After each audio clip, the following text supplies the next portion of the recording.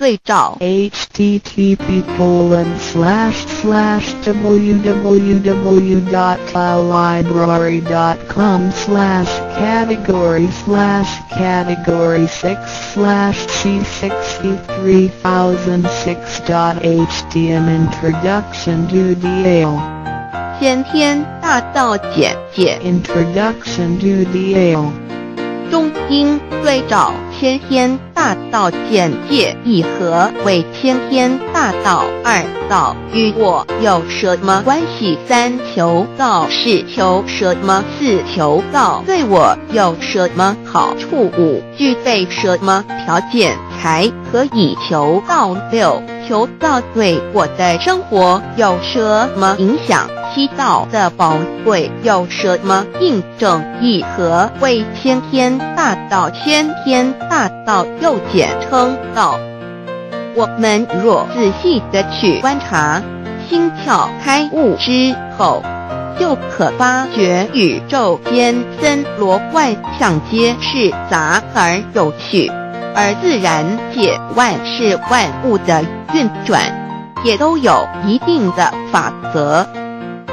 个天地人是万物的真主宰，就是道。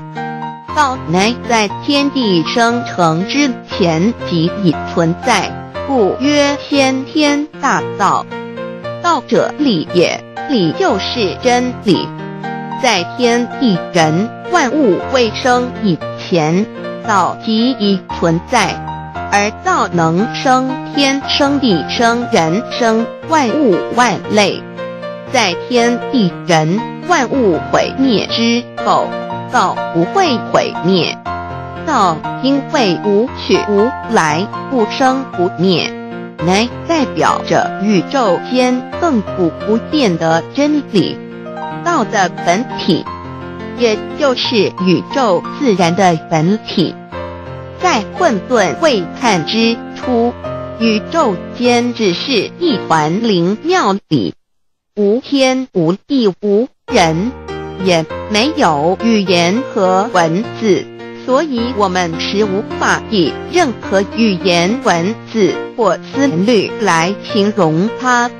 故大道无名强名曰道，我们也是勉强用到这个名词来代表它。在天地万物生成之后。早就能贯穿于宇宙万事万物之中，使一切的自然现象均能呈现和谐有条不紊的运转。这就是道的妙用。道大理为，我们虽然无时无刻离不开道的本体和妙用，却又很不容易去认识它。因此，在两三千年前，各教圣人应运出世，各化一方，针对当时天时地利及众生的根气，留下千经万典，传下诸多去恶从善的修持法门，同时也让芸芸众生认识了冥冥中。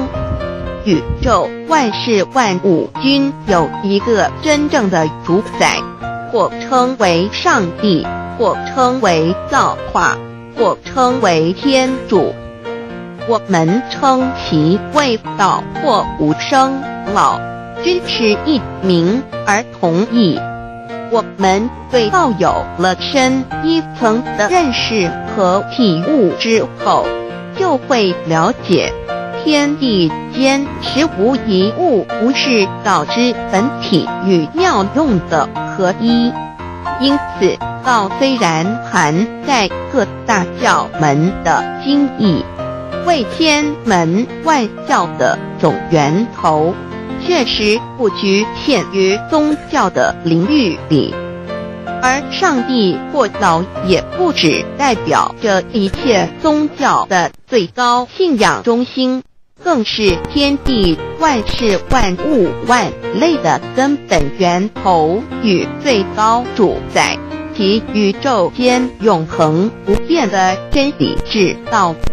所以，我们今天有机会了解什么是先天大道，不止找到了各大教门的最高信仰中心，也找到了宇宙的根本源头与最高主宰，更能对宇宙至高无上的真理有一个初步的认识。道之真意。在先天之先不为先，在后天之后不为后。即大上有可量，即为上有可止。为道即大不可量，即为不可止。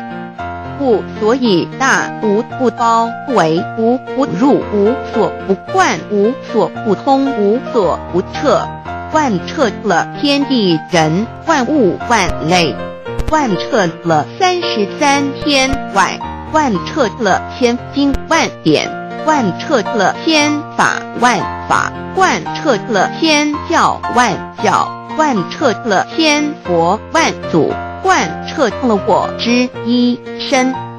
此乃显天大道宝贵的真意，人人必须知真觉。亦即是人人与我我与人人良心之情也。此乃万众一心，万国一家，世界大同，此先天大道之宝贵也。二道与我有什么关系？道的宝贵在于它大而无所不包，细而无所不入。天地生成之后，道贯穿于天地万物万类，使得日月星辰之运转各有其时，四时之交替，万物之交长各有其序。而最宝贵的是，各天地万物的主宰，同时也是我们人一生之主宰。曰性理，使得我们不学而能看、能听、能吃、能动。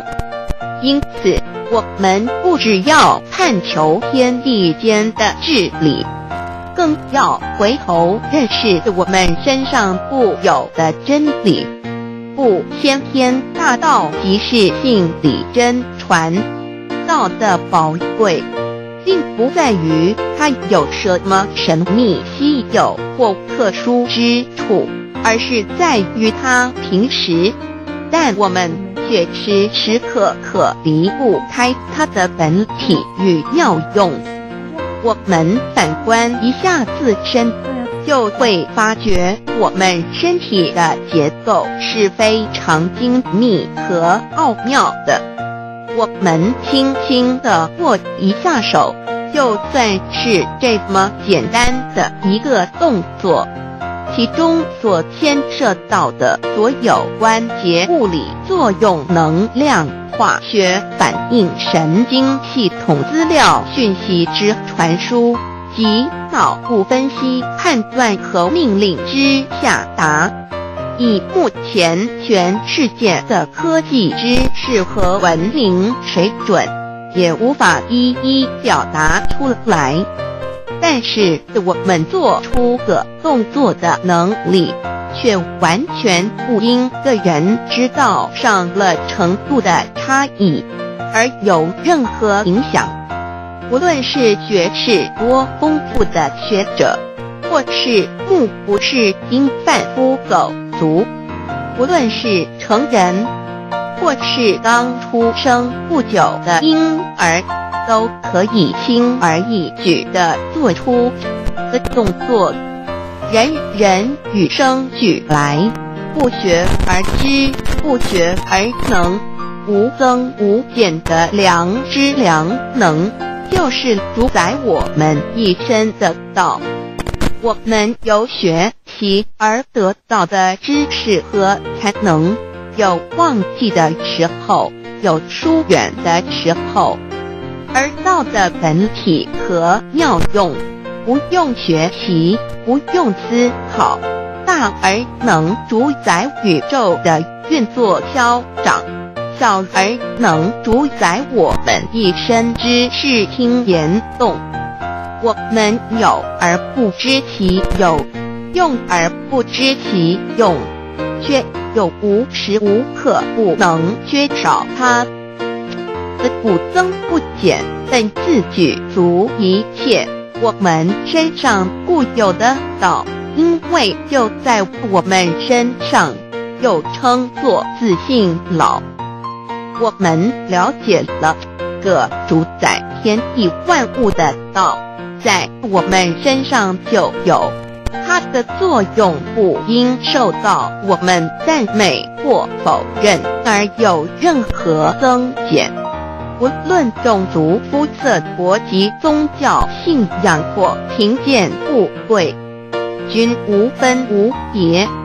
因此，我们能求得先天大道，不只找到了宇宙的根本源头，也找到了不生不灭的真我。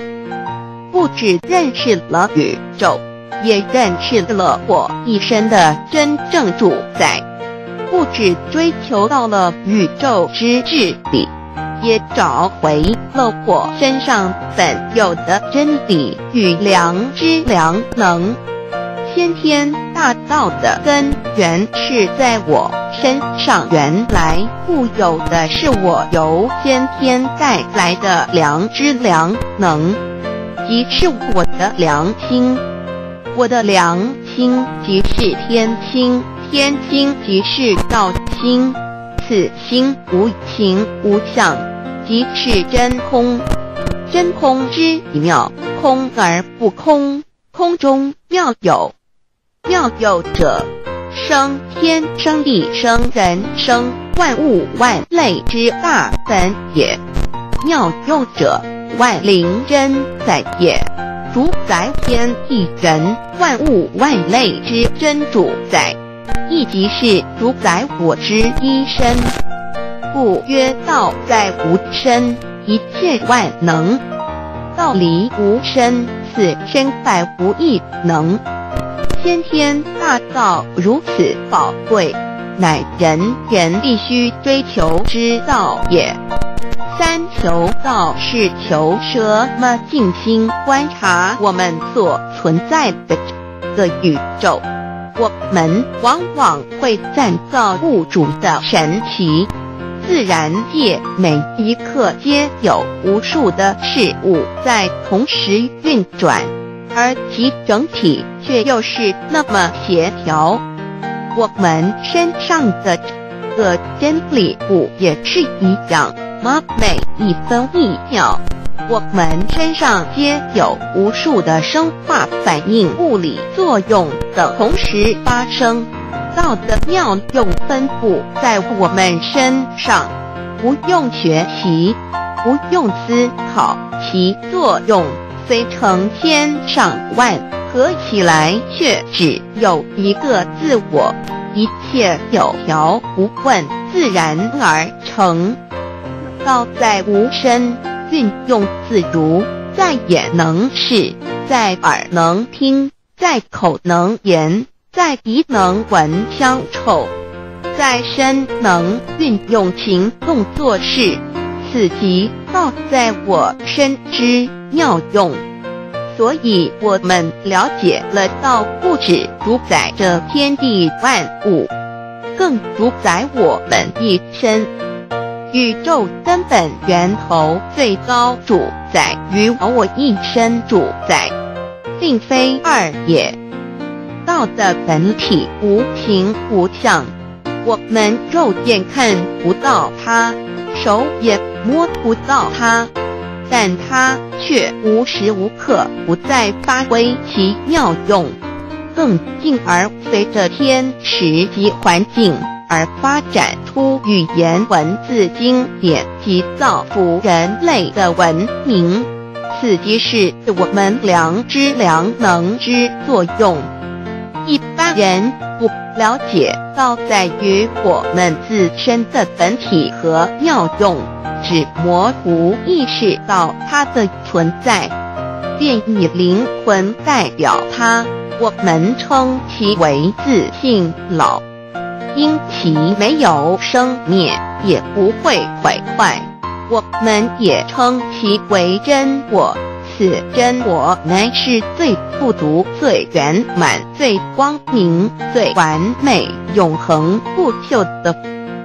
现在我们来生一看，看得见、摸得着有形有相的肉体，能不能代表我把一个人生命中不同阶段的照片拿来比较，我们就可发觉。面貌是无时无刻不在变化的，我们一般均习惯以相貌认人，但相貌却不是永恒的。我们的肢体也不是真。我，某些人不幸失去了一只手或一只脚，仍是好好的活着。我们的内脏呢？现在科学昌明，其自己能把动物的心脏成功移植入人体。我们不能因此说，个人不是他自己了。就算头的脑细胞，从我们一出生就开始不断的在坏死、减少和变化之，因此。有形有相的肉体，只是真我的一个工具而已。肉体虽然看似真实，却无时无刻不在改变之中。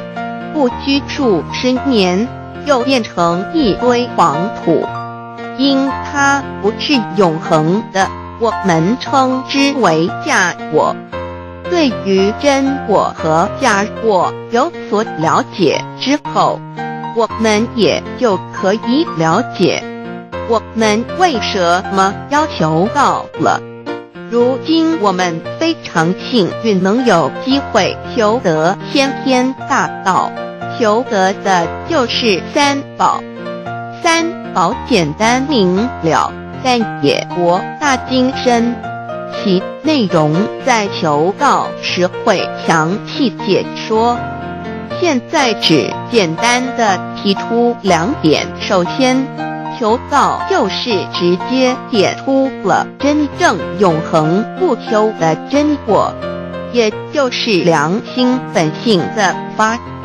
在物质文明远较精神文明昌盛的今日，假若迷失真我，我们的人生将有如行尸走肉，做事认假为真，更使我们为了盲目满足假我而做出害己害人的事情，造成自己在世时与死后的灾祸。因此，求道启发了我们内在本的真我良心。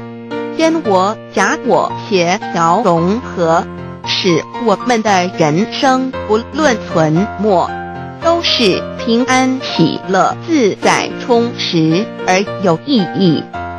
其次，求道也就是开启了我们身上的正门，又称良心之门、智慧之门、慈悲之门。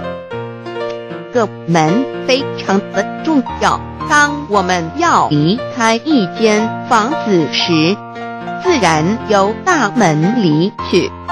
如果此门无法开启，而被迫从窗户或阳台跳出时，就可能会摔断腿。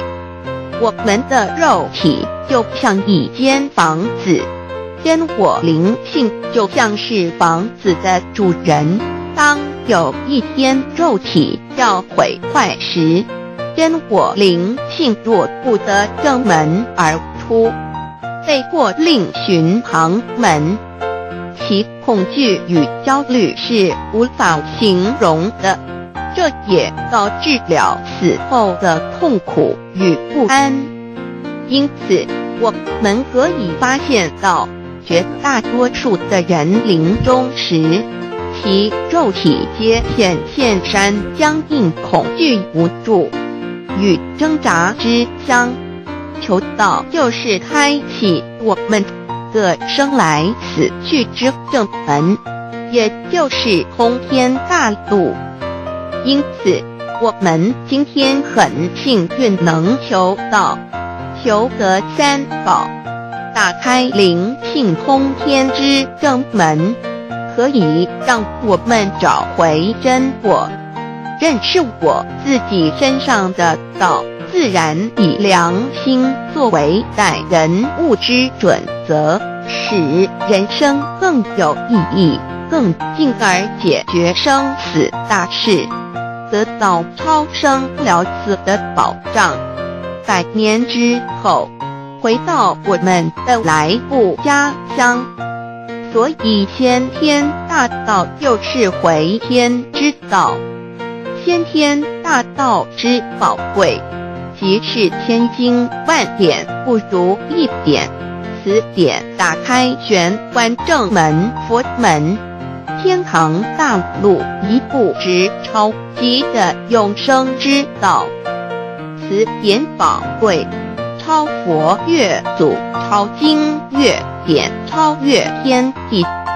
得到这一点宝贵，它是诸经之师，诸。法之王，诸佛之天地之，故曰超生了四极的永生，不毁不灭之先天大道也。此乃即是人人原来固有的，必须返回天之道也。四求道对我有什么好处？我们今天很高兴能有 个。机缘求道，能够开启良心之门、智慧之门、通天之正门，这是第一步。的宝贵的道，还能带给我们终生受用不尽的福之意，离苦得乐。人生在世，遭受种种之苦恼，就其根源。皆起因于迷失了真我。求道首先就是让我们认识人人身上固有的道，找回我们本有至真至善至美具足圆满、永恒不朽的真我，在日常言行之中发挥真我，使我们一举一动皆能合于理。止于至善，自然不会受周遭的人事物所左右，我们的心也就不会患得患失。心为一身之主，我们既然在心境上有所提升，自然不会与邪恶之事相感应，则不相随心转，还可以改变命运。趋吉避凶，朝向光明，使我们得到真正的喜悦、逍遥自在。二落地难自有人类文明以来，道的真意便代代单传独授，其没落贯穿了早期的主要文明，如中国、印度等。奈何近百年来，人类受物欲所逼，在空前繁荣的物质文明中，逐渐迷昧了良心，甚至竟将制造威力极大的杀人武器。回顾数千年人类历史，在近代短短数十年间。便发生了两次世界大战，无数挑战，伤亡无数，滥用科技文明，同时也损害了自然环境，造成大气臭氧层之破坏，全球性气候的改变，人心之变，干造了天灾人祸连连。人类已为自己酝酿了一个空前的浩劫，因此，上帝洪恩慈悲，特将大道谱传于世，以挽救良善。求道以后，我们时刻存着道心，以良心待人处事。当遇有人力不可挽救的灾祸时，只要诚心使用三宝，亦能灾一劫，逢凶化吉。此事验证甚多，不生枚举。三超生了四人生，又如一段苦乐相参的旅程。遭受生存竞争、衰老、病痛、死亡等困苦，人皆难免。而人间种种欢乐，又往往是短暂易变的。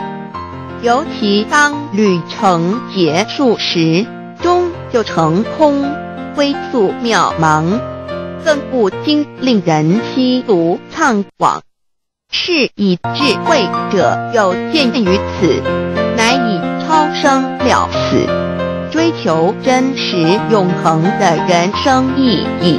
为人生至高之目标，古代先修后的，因此古人为求超生了死，尽毕生之力苦修苦行，仍难以访得名师达成心愿。如今大道普传，先走后修，在求道过程中，天命名师一指。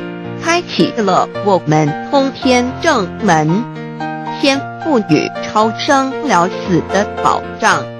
我们得道以后，认识了真我，以真我为主宰，远离邪心妄念，让我们的心念、言语、行为，无论待人处事，皆合于良知。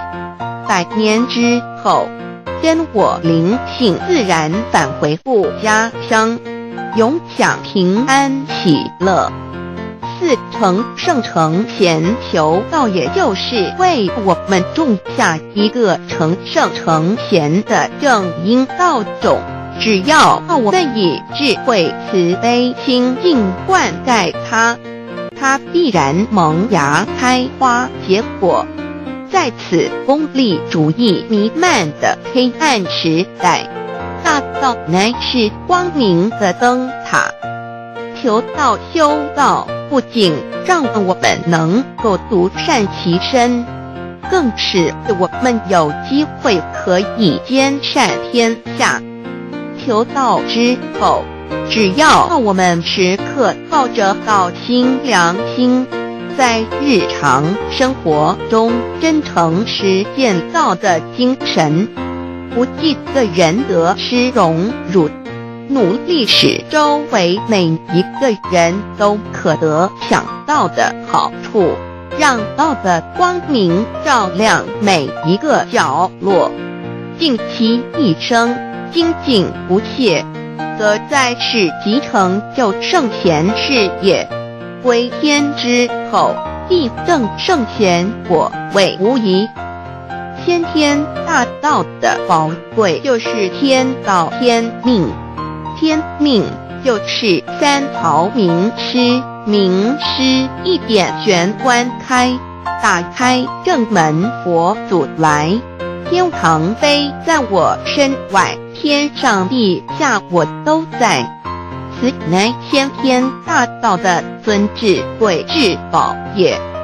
先天大道，天命宝贵，三朝名师这一点妙至极意，非是在言语文字相声音可得，非是在千经万典上的，非是在讲经说法上的。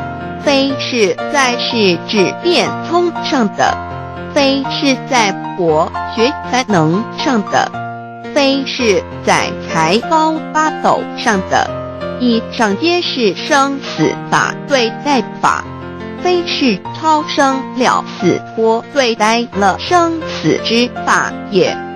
是自己的先天大道妙用妙能的宝贵，其妙极矣。此者是无师智，此智是妙智妙慧，此智此慧是我本来固有的，由先天带来的，一即是在找回来天地人万物外类未生以前我的初心。即我良心天心道心老心也，先天大道之妙，此妙之贵妙不容言，不学而知，不学而能，一即是先天带来的先知先觉妙用妙能，此知此觉此能此用。不用言语文字声色，不用思想，不用念头，不用言听是动，而生天地人万物万类，生天地人万物万类之后，这天地人万物万类，实可分妙，也离不开其妙用妙能，故曰万灵真主宰也。设若天离开先天大道之妙用妙能，则河汉星斗乱序，日月无光，亦不能轮转，则阴阳二气不能流通，万物万类世界的众生，人人皆不得其生存。设若大地离开先天大道之妙用妙能，这金木水火土不能相配，则险象丛生，山崩地裂，海水枯干。一尺万物外类世界的众生，人人不能得其生存。设若人离开先天大道之妙用妙能，则寸步难行，眼不能看，耳不能听，口不能言。总之，全身不能动作，一百日之后成了一堆臭骨臭泥土。此乃先天大道妙用妙能的宝贵妙至极矣。设若觉悟认识先天大道之妙用妙能的支持而实行，即是天人合一，天人一体治理。绝言妙不容言，不是死后成佛，当体即佛矣。故曰如来佛，如是佛也。此乃的先天大道修先天大道之好处。不具备什么条件才可以求道？求道既然能够带给我们终生受用不尽的好处，我们今日能有机会求道，会不会显得太容易了？事实上，我们能得闻先天大道，首先要感谢上帝的恩慈。将自古不倾泻的大道不传于世，使我们有机会得此天之道。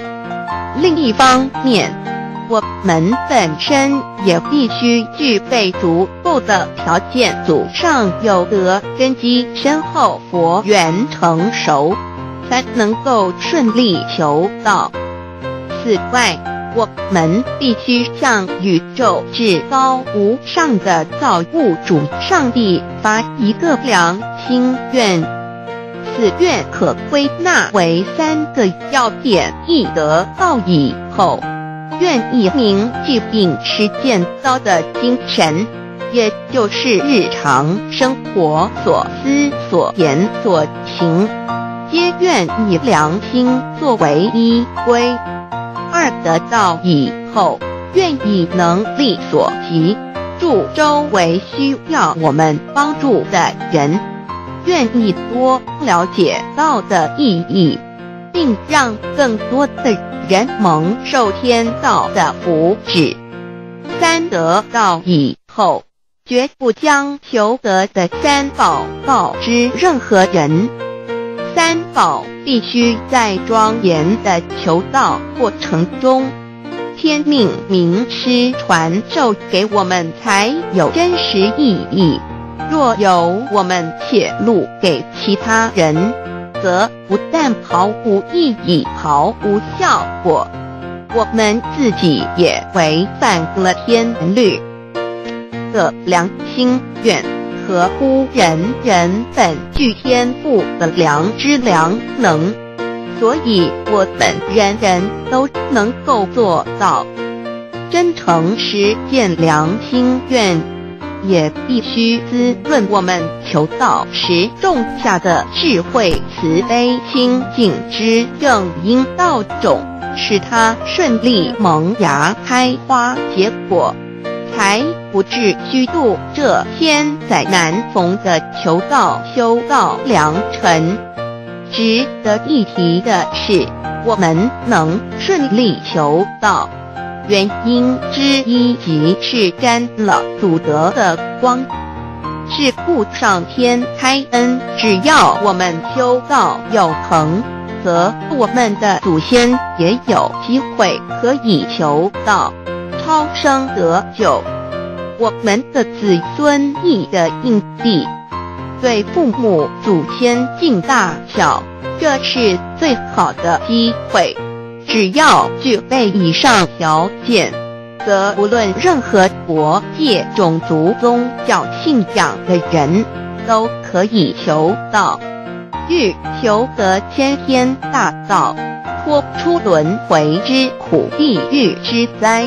世间的穷通受忧官寡孤独生老病死苦，而返天堂永享天伦之乐者，必须我有得遇六万年良辰佳期的幸运。我本人心地善良，我有先天根基深厚，也就是我本人前世做的功德善事很多。此即天缘，我本人祖先有功德，做善事，此即祖上有德。我牧人遇到引宝师，度我得道，此佛缘已至。也就是前生我们一同做过功德善事，或一同有修过宗教，今生遇天道降世。一同得道修道，此乃佛缘已至。六求道对我的生活有什么影响？现今正值上天恩开，先天大道普传，拯救良善之时，故普传方式皆以方便善巧，与众生契机为原则。因此，求道不会对我们正常的生活造成任何负面影响。这与以往许多人苦修苦练，甚至出家的修行方式有很大差别。也正因为如此，先天大道能在日新月异的现代。适应社会的各个阶层，传布到世界的各个角落，使人人皆有共沾天恩的闻大道的机会。关于求道对生活有什么影响？我们又以下几点来看：一与任何宗教没有冲突，道代表着天地万物及我们一生之最高主宰与真理。不止在各大门创始之前，甚至在天地未生以前，道就已经存在了。因此，任何教门。只要其教义是追求真理及实践良心，就不会与道有任何冲突。事实上，不止宗教，只要我们以探求真理的角度去观察，则自然界万事万物皆能与道吻合与印证。若我们原有某种宗教信仰，求道将不会造成任何抵触，也不会使我们背弃原有的信仰，反而让我们对真理的探求有更深一层的体认。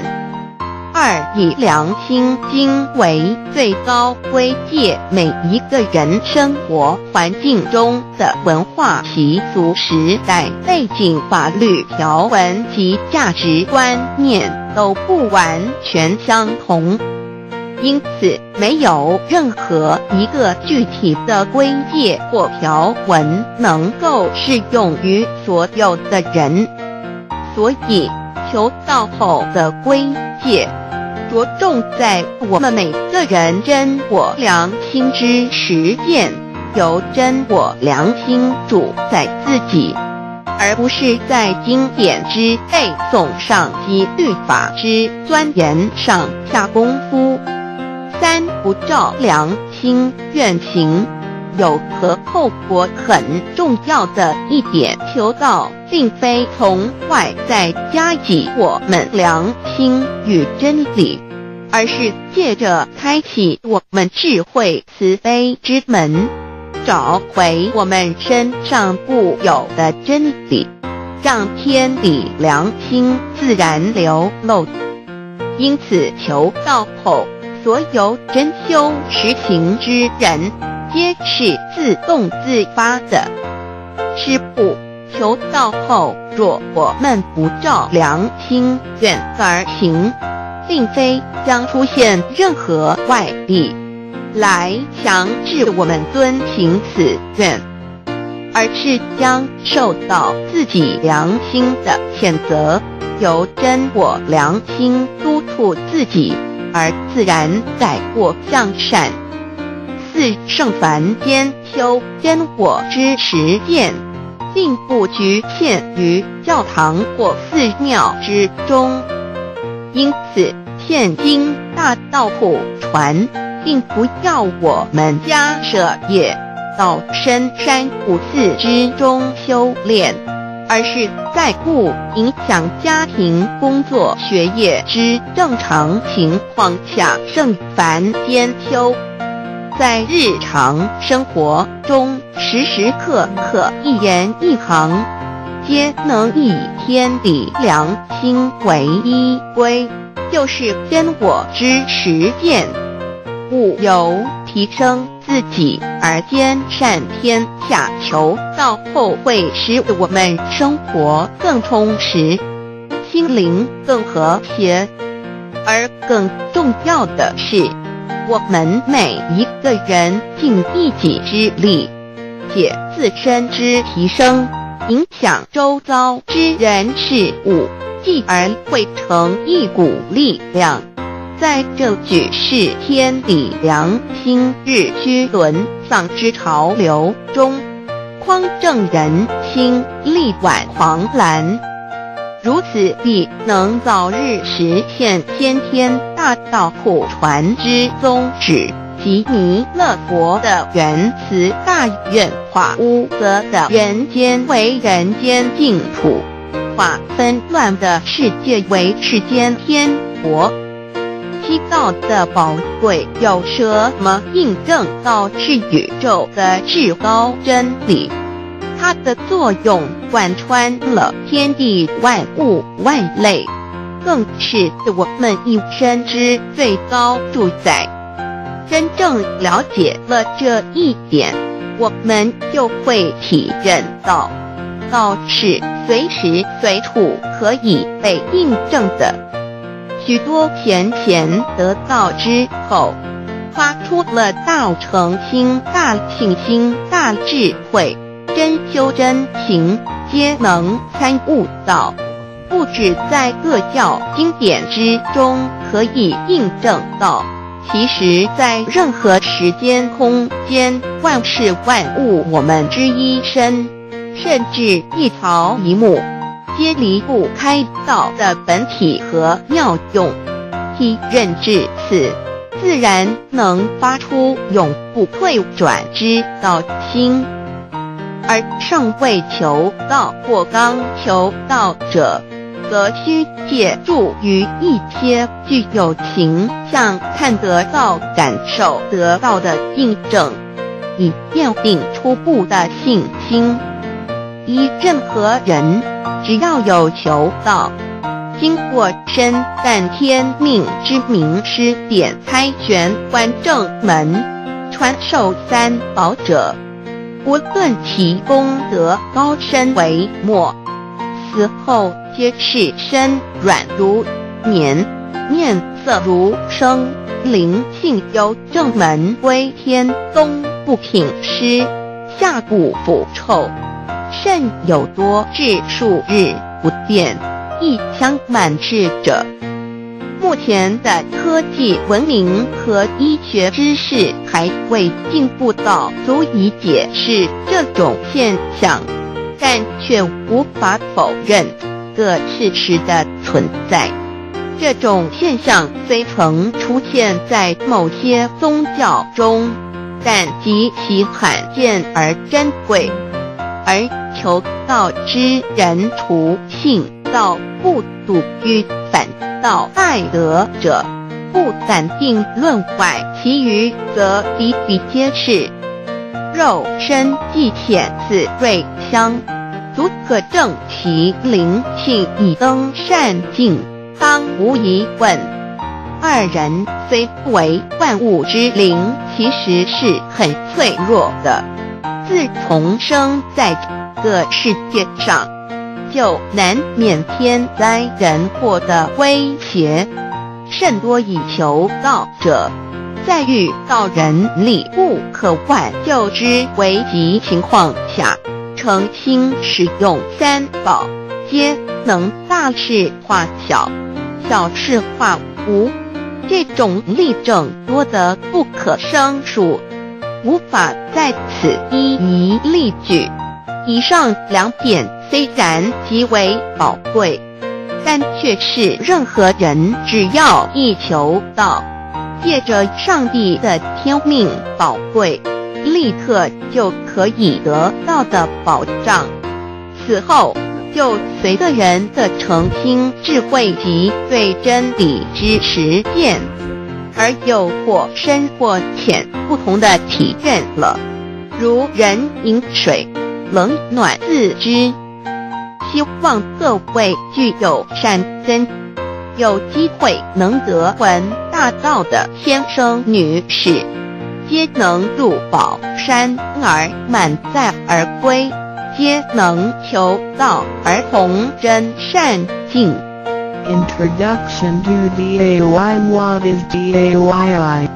DAO and MEII what it is in DAOID. What do I get in RECID and in DAOB? What do we need to receive DAOBI? What impact does receiving DAO have on MEDII? What can attest the validity of DAOI? What is DAO observing the cosmos and all the living beings consciously? Among all the earthly activities and phenomena, we will find the existence of the laws of nature. There is a supernatural origin which guides all the operations happening across the galaxy, the earth, and the human beings. We call this Geo. Thou existed before primordial time, and even before the universe was merged. It is the origin of the world and it thereafter nurtures all the creatures and beings. Since it is unchangeable and does not evolve with time, it is the ultimate truth. It is what all saints and sages throughout human history had been searching for. The essence of Tao is the foundation of nature. The law or the power that existed before the universe was formed is beyond description because there were no civilizations nor creatures, let alone languages. Since it cannot be applied any name, we simply call it Tao. After the world was merged, along with the mutations of the universe, we see the harmonious actions as exhibited in seasonal changes, rhythms of time and tide, and the balance of the ecosystem. We also find some conformity of human nature across various cultures. These prove the laws of nature. This is the extension of that original Tao when it is substantiated and materialized. It merged into everything that is within within us. Now that we know Tao is present universally and yet difficult to be recognized, there had been prophets and preachers trying to make us know and understand the origin and the truth of life through various teachings and literature since the beginning of civilization. They were scattered around the world throughout history. As a result, great commandments were taught to disciples and goodness and badness were differentiated. These teachings varied, based on differences in culture, background, timing and the level of each individual's comprehension.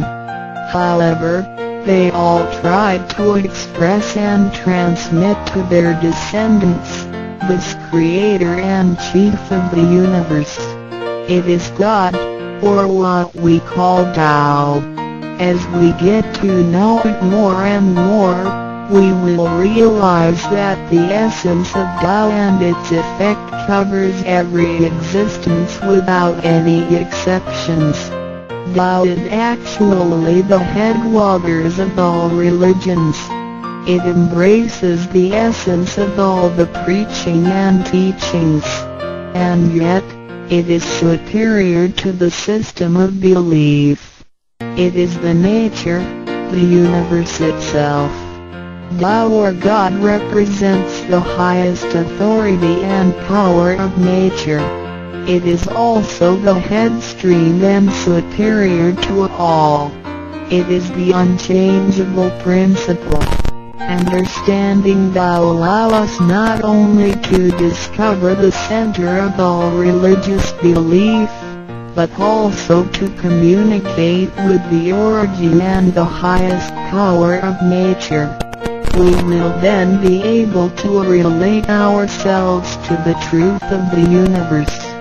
To probe further, Tao existed before the formation of all, yet it was not anterior, which means that the creation was embedded in it.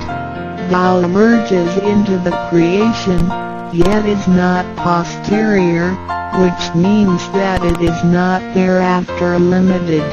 Among those created, however large, they can be measured, however small, they can be detected.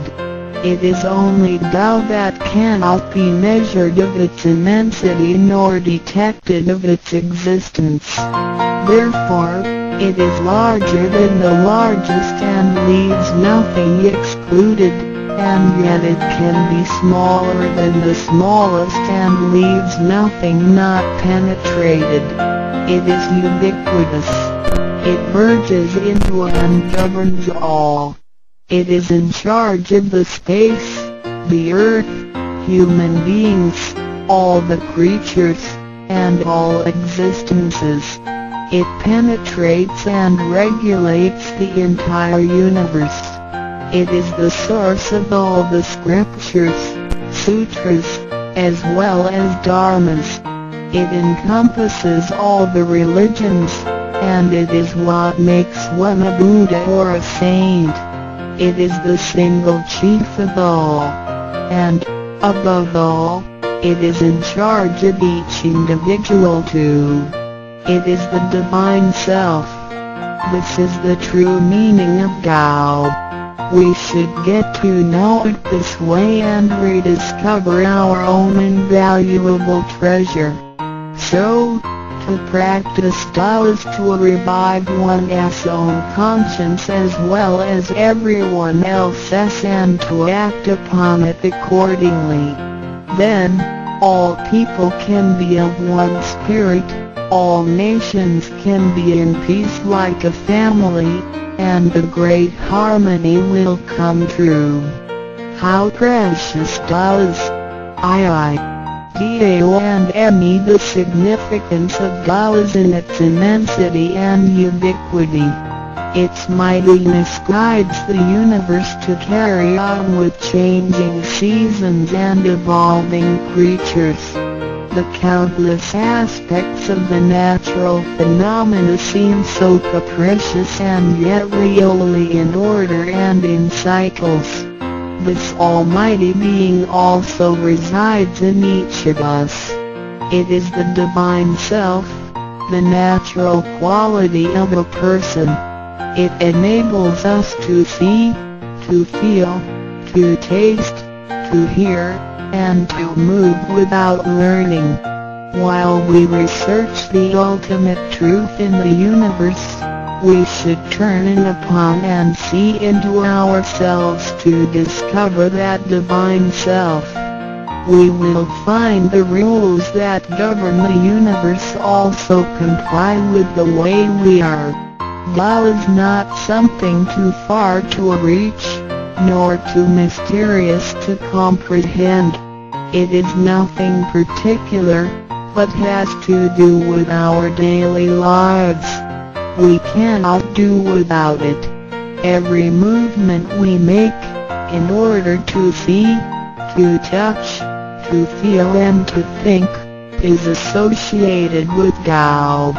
Consider how many wonders are hidden in our body, how delicately our physical functions are carried out.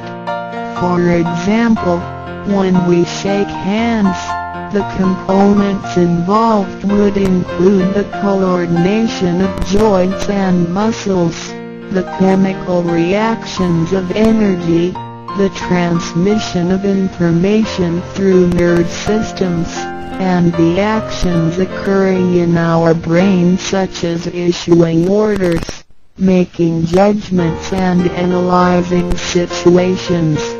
Even with the most advanced technology and the highest level of knowledge we have developed today, we cannot completely reconstruct such a function. Yet the ability to perform such a simple movement is there for all individuals, regardless of the level of a person's knowledge and his slash her being a grown-up or a baby, a scholar or an illiterate. These are the kind of abilities we come equipped with naturally, without learning and being taught. It sits within us and is in charge of all.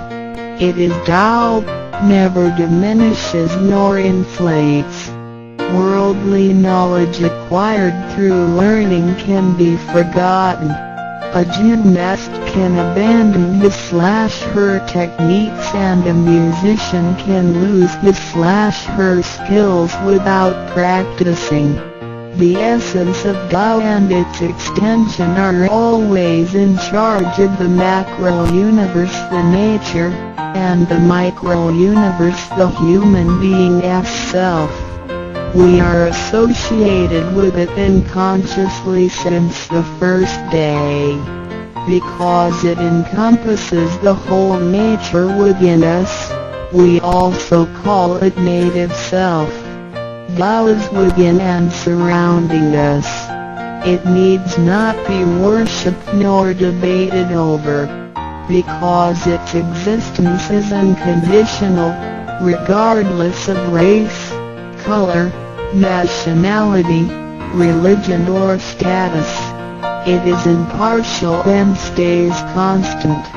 In receiving Tao, we not only find the origin of the universe, but also the divine self. We get to know the highest power in the universe as well as the genuine nature in charge itself. We discover the ultimate truth of the cosmos as well as the integrity of ourselves. Recognizing that the laws which govern the universe also govern us makes us be able to return to our true nature. To probe further, the most essential concept in Tao is that we all possess it intrinsically. It is the wisdom and ability we were born with without learning or practicing. It is one's conscience, which is like the Spirit of God the divine and immortal nature. It is invisible and intangible. For this reason, we call it genuine emptiness, which means that to be really empty, it goes beyond emptiness and can therefore have marvelous existence in it. Marvelous existence is the foundation for the sky, the earth, human beings, all the creatures, and all existences. With omnipotence, Thou is called Great Lord of all beings. This almighty being is not only in charge of the entire universe, but also in charge of oneself. So the proverb is, Thou is within self which is the drive of all one's abilities. A physical body without Tao is useless. This is the treasure that we should all realize and fully explore. I I I. What it is indeed when we look around the world, we admire the miracles and wonders of nature. Countless things change and move simultaneously every second, and yet in order and in harmony. So do our bodies countless biochemical reactions and physical functions occur concurrently within our bodies. Without learning and thinking that comes subjectively, the thousands of activities that happen within us are the extension and action of Tao. And altogether, it is one single self. It functions naturally and automatically without the need for our intents to be involved. This is the effect of Tao within us. Tao is not only in control of the universe and nature, but also in charge of every human being in his slash her own actions. In other words, it is the same source that governs us as well as everything else. Tao is invisible and intangible, but it has been working out its magic before day one. Thereafter, languages, cultures, religious scriptures, literature, and civilization were developed. They all originate from Tao functioning within us. People don't realize it is Tao that has been residing and working within us and had used soul to represent the confusing and yet irrefutable being. Because it is eternal and intangible, we also call it true self. This true self is the most abundant, brilliant, and imperishable being. Let us take a look at our tangible body and see if it can be the true self. We know the pictures taken throughout one's life show different faces and expressions. We recognize people by face, but our looks change and are not permanent. The handicapped, with impaired arms or legs, can also lead a complete life. One with a transplanted animal heart is still a human being. Even our brain cells keep decreasing and changing every second from the moment we were born. Therefore, the physical body is only the interim residence of the true self. Though it seems so real, solid and alive, it turns into dirt eventually. We call it false self because of its tentative and transient nature. By recognizing the difference between the true self and the false self, we understand the reason and importance for us to receive Tao. Luckily, we are given the opportunity of receiving Tao and learning the three treasures. The three treasures are straightforward yet profound. The meaning and details of them will be illustrated through the rite of receiving Tao. Here, we only discuss two issues. First, by receiving Tao, the true self gets plucked out. It leads to our conscience upon the time when material pursuance surpasses spiritual seeking, giving up the true self only makes us a walking corpse. In order to fulfill and satisfy the sensational desires of the false self, we may commit wrongdoings and harm others, eventually creating troubles for ourselves. Our inner conscience is identified and enlightened by receiving Tao. Thus, the body gets to work with the spirit in a mutually beneficial and harmonious way, making our lives joyful and meaningful. Second, by receiving Tao, the front door or main gate of our bodies gets opened. It leads us to conscience, mercy and wisdom. When we leave a house, we leave through the front door. If the front door is locked, we may have to leave through the back door, or even by breaking the window or jumping off the balcony. We may fall and get hurt by doing so. Our body is like a house, and our soul is the master who lives in the house. One day, when the body is aged and depleted and the soul has to leave, we can imagine its horror if it cannot leave through the correct exit. This is the pain and discomfort human beings experience at the coming of death and after death.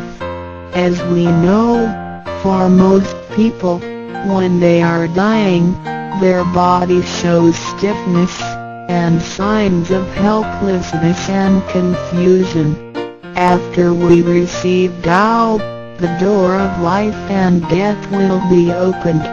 Being able to receive Tao and the three treasures while having the door to heaven opened, we had the opportunity to recognize the true self and the Tao that dwells within us. We are going to treat people and the world with conscience and make our lives more meaningful. We can transcend life and death.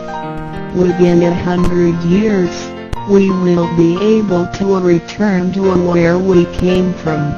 Therefore, the heavenly Tao is also the way to a return back to heaven. To probe further, the enlightenment of Tao is superior to studying thousands of sutras. This is the value of Tao. The enlightenment of Tao opens the main gate, the front door, which is the entrance to heaven. It gives us the guarantee to be exempted from rebirth cycles and to reach eternity. The superiority of this enlightenment lies in that it surpasses Buddhas and saints, It exceeds the scope of sutras and dharmas, and it transcends the universe. Tao is therefore source of all sutras, king of all dharmas, mother of all Buddhas, and creator of the universe. Transcendence of rebirth cycles leads to eternity. Being imperishable, Tao never deteriorates, and we have never lost it at all. Hence Tao is the direct way back to heaven. I ID. What do I get in RECI beginning DAO as mentioned earlier, by receiving Tao, we act upon our conscience, gain more wisdom, and find the door to heaven. In addition to these basics, we also benefit from the following for our lifetime. A. Being away from sufferings and closer to happiness The troubles and worries we face in our daily lives mostly result from our disregard of the true self. Receiving Tao helps us to recognize the Tao that has been dwelling in us and to restore the beauty of the true self so that our behavior and mind is free from being controlled by the earthly pleasures and being swayed by the losses and gains of the material world. Since our minds are cultivated spiritually, devils would not approach and get close to us. Thus, our fortune can be altered from bad to bright, and we can obtain real joy. The being away from disaster and calamities Tao has been passed on through generations to a one single master since the beginning of human history. The thread of its passage leads through ancient civilizations, including China and India. However, in recent centuries, Human beings had been trapped by materialism and a weaker sense of right and wrong. Wars prompted the development of powerful lethal weapons. In reviewing the thousands of years of human history, we realize, in just less than 100 years, there had been two major world wars which caused numerous killings and tragedies. The abuse of science and technology has also destroyed the ecology, causing damage to the ozonosphere and the unbalance of the climate. The corruption of human beings' minds has called the natural disasters to come. The human has created calamity. God, with His mercy, makes Tao available to everybody in order to save good people. After we receive Tao, with the true meaning of Tao in mind, we will be conscientious. We can use the three treasures whenever something dangerous and uncontrollable happens to us we will be able to get away from bad encounters. This is a confessed fact. See transcending life and death Life is a mixture of happiness and bitterness. Throughout the journey of life, we experience birth, growth, aging, illness, and death. Joys are momentary and wealth is here today and gone tomorrow. Rather than seeking the pleasure of material life, the wise make full use of their lifetime searching the true meaning of life and eternity. In old times, doubt could only be received after harsh self-cultivation among the hermits looking for the master in order to receive Tao, only very few could obtain it. Whereas in this century, Tao is allowed to be spread and transmitted through the authorized masters to the truth seekers. The master points out the main gate of life and death, assuring the completeness of our true self. With the true self as our guide, which keeps us away from evil and greed, it helps us think, speak, and act in accordance with our conscience and intuition. Death then becomes the return of our soul to the eternal and peaceful home where we came from. Thus, we will have lasting joy. The achieving sacred beings the enlightenment of Tao, which reveals the true self, is like the planting of the seed of righteousness and integrity. Through self-cultivation and self-improvement, the nurturing of wisdom, kindness, and purity, it will blossom and produce the fruit of sacred mind and eternal life. In time of overwhelming utilitarianism, Tao is the lighthouse to the truth. Receiving Tao, and then cultivating ourselves, not only improves our own lives, but also gives us the opportunity to better the world. After we receive Tao, we act upon our conscience and care for people around us. We cherish Tao and disregard personal disadvantages. Then we make an effort to spread the message of Tao to the world, in order for everyone to benefit from it. We are devoting ourselves to the work of God, and certainly will achieve spiritual perfection in both this world and the world after life. To probe further, the supremacy of Tao is based on the heavenly decree of God, by which Grand Masters can perform the passage of Tao. The enlightenment of Tao from Grand Masters directly opens the main gate of our bodies, which revives our divine nature. It reveals that heaven is not beyond oneself. Instead, one's true self merges into the entire universe. This is the supremacy of Tao. 1. With the heavenly decree, the enlightenment of Tao is extremely profound and marvelous. It cannot be completely expressed by any words of languages. It is not recorded on any scriptures or sutras. It cannot be described by preaching, nor can it be acquired by human intelligence, nor derived from knowledge and experience, nor achieved from gifted talents.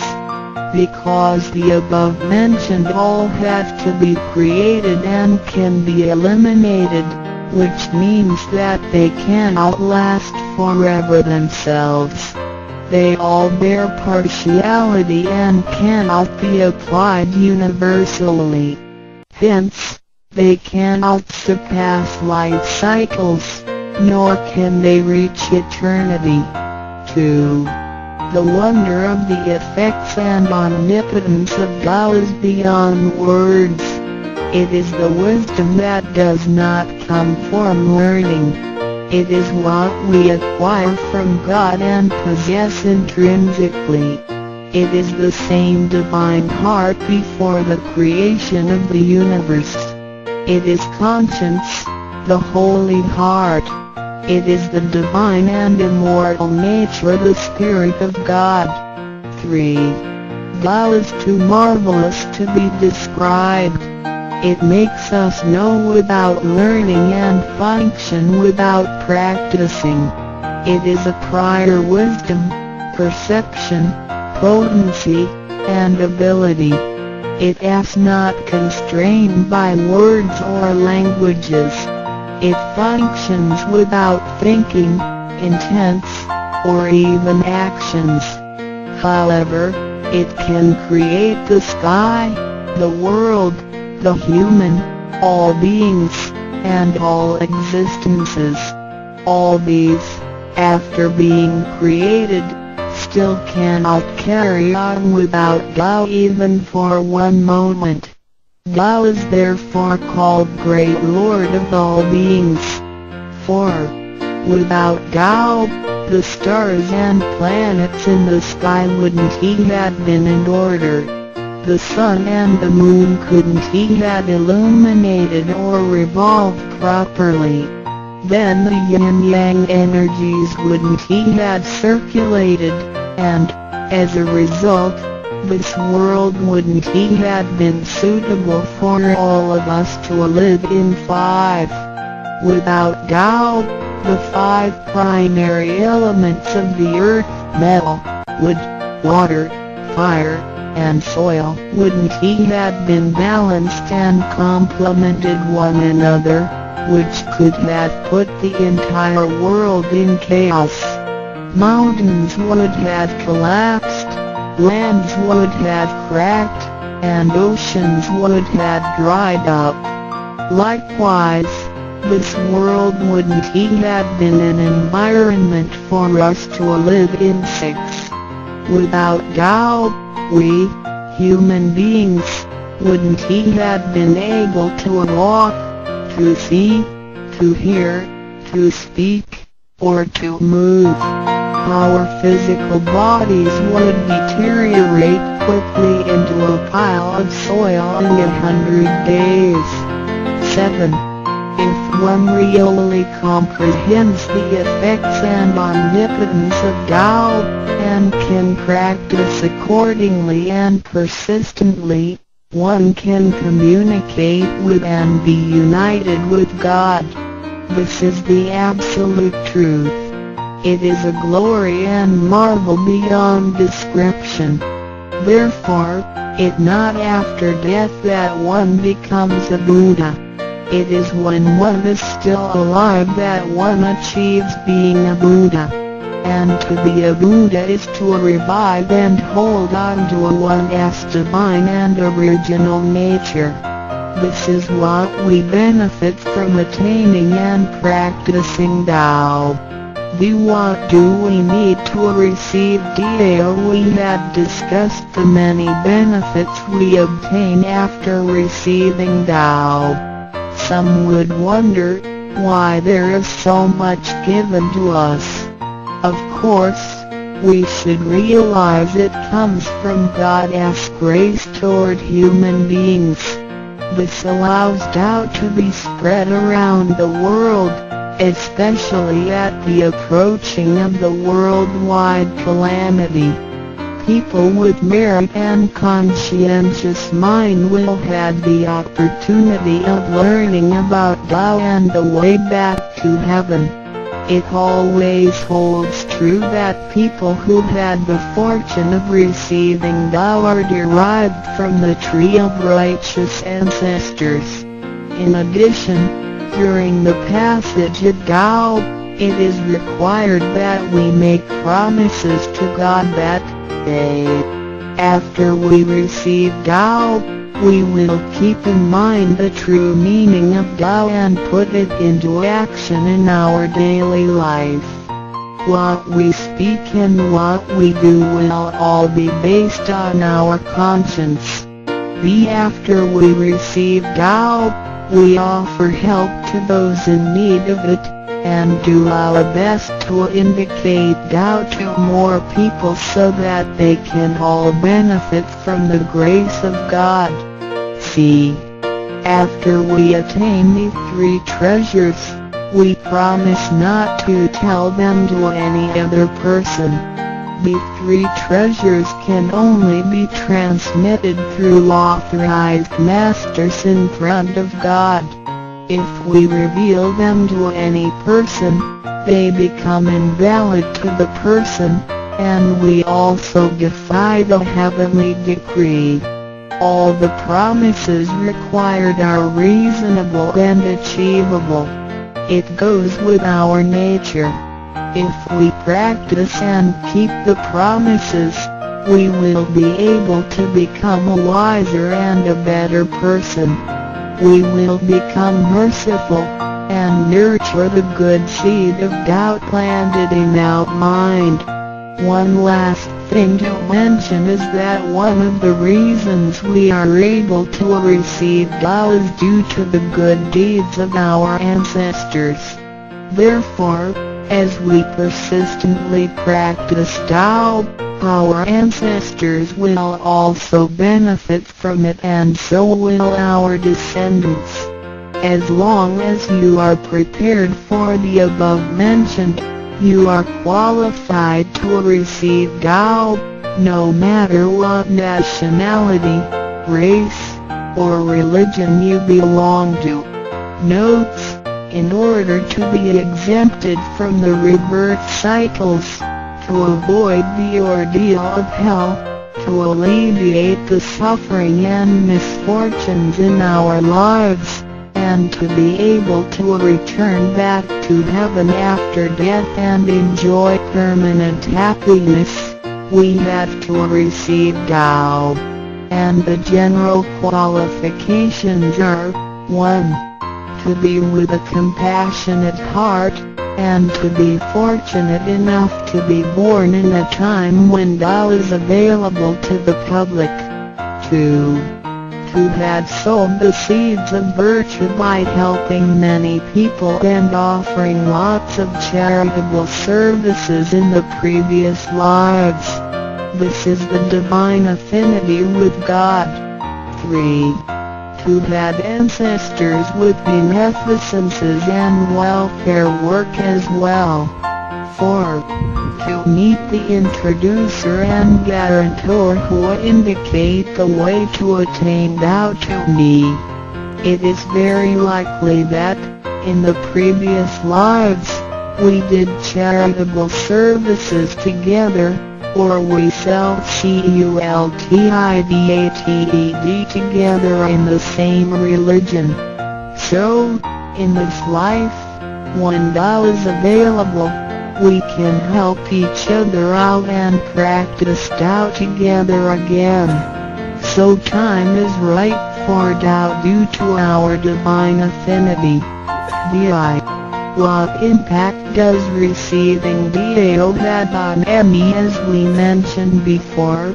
And like the old days when hermits had to leave their families to receive Tao through meditation and self-cultivation, Tao, at the present time, can be received in a way that is applicable and conforming to our practical needs. We don't have to give up our lifestyle in order to attain Tao. By the grace of God, Tao is intended to be delivered to the public at all levels of occupations and around the world, rather than being limited to a privileged group of people. The impacts that receiving Tao can have on our daily life are summarized as the following. A receiving Tao creates no conflicts with any religions Tao governs the universe including all human beings. It existed before the formation of any religions. It is concordant with all religions, in the sense that religions preach the awareness of conscience and the pursuit of the truth. We don't need to give up our religion in order to receive Tao. On the contrary, by receiving Tao, we will have further understanding of the truth. The conscience becomes our ultimate guidance due to the variations of cultures, customs, backgrounds, legislation, and value systems it is difficult to find a universal guideline for all of us to follow in our daily life. In receiving Tao, the main commandment is to act by our conscience, the true self, rather than by literature. We should be sensitive to the conscience, rather than be familiar with the laws. C. We will voluntarily keep the promise made while receiving Tao through receiving Tao. We are not offered conscience or true self, but merely the opening of the door to a wisdom and mercy. Therefore, we restore the heavenly principles inherent in us, and strengthen the power originating from our conscience. There is no external force that makes us keep the promises and commitments that we made when we received Tao. The only force comes from the guilty feelings that result from our misbehaviors, which reduces the mistakes we make. The practicing Tao can accommodate our worldly affairs The fulfillment of practicing Tao and conscientious awareness does not have to be accomplished in a temple or church. It is not required to abandon worldly belongings or relationships in order to attain the ultimate truth. Each individual can still have his slash her family, career, and schooling at the same time. As long as we keep in mind the basic guideline we should have our practicing Tao and getting closer to our divine self. We will make a better world by improving ourselves first after we receive Tao, by realizing the true self and what we are, the feeling of joy comes to us the improvements on the quality of our spiritual life will affect people surrounding us. By interacting and working together in Tao, we will make the world better with lower crime rate and less pollution the wish of Maitreya will finally come true to turn the world into God's kingdom and make people all live in harmony. DII. What can attest the validity of Dao Dao, due to its completeness and generality, regulates the totality of all beings. Many people, after receiving Tao, with their wisdom, faith, and devotion, realize that Tao is the fundamental principle that governs all things. They comprehend the truth of the universe not only through literature, but also through daily living and nature. Their faith in Tao becomes strengthened and they move forward in their spiritual life. However, for people who haven't or just received Tao, Tao can be confirmed through revelations. A anyone who has received Tao with the front door open shall die peacefully. One proof of this is that for those who have received Tao and died, their bodies remain soft and their faces vivid. Since the soul leaves the body through the correct exit, the corpse can actually remain uncorroded for a few days. With the most advanced modern science and technology, it is still difficult to explain this phenomenon. However, it is a fact that cannot be denied. This has happened before in some religions, but very rarely. For people who have received Tao, this kind of testimony is ubiquitous, unless they have committed serious sins and corrupted their own mind. This can prove the soul has reached an ultimate harmony. He being the superintendent of the things on earth, human beings are nonetheless weak. Since birth, we are subject to unpredictable accidents and natural disasters. There had been many people who encountered danger, used the three treasures with faith, and got away from the danger or reduced the damage to the minimum. Testimonies of this kind are numerous. The above two mentioned are rarely heard of and difficult to believe, but they are the immediate security given by God once a person has received Tao. Thereafter, with each individual as faith, wisdom, and the accumulation of good deeds, one will come to know the truth more and more. It is up to you to experience the value of this treasure. I hope you will have the opportunity to receive Tao, experience it in your life, achieve ultimate perfection, and realize eternity. NDRODUCDIL and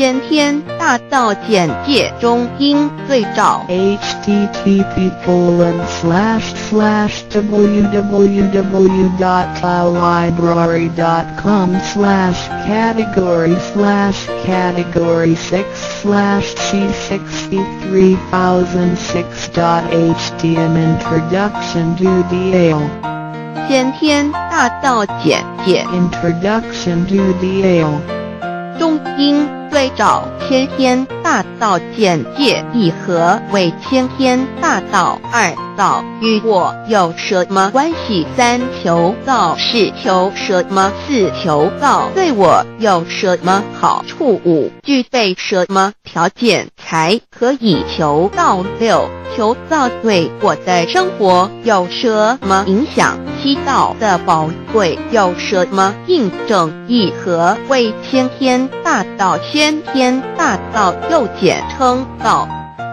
我们若仔细的去观察，心窍开悟之后，就可发觉宇宙间森罗万象皆是杂而有趣，而自然界万事万物的运转，也都有一定的法则。